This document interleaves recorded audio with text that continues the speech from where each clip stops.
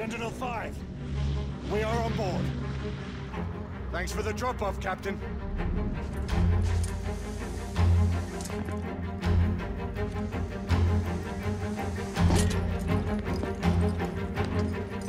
Lafayette and Galahad, you need to gain control of the cockpit.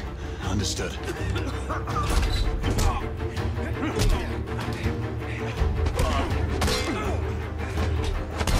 We seize the ship in the name of liberty. Isabeau and I will do reconnaissance. We need eyes on the ground amongst the guests. And imagine me with nothing to wear.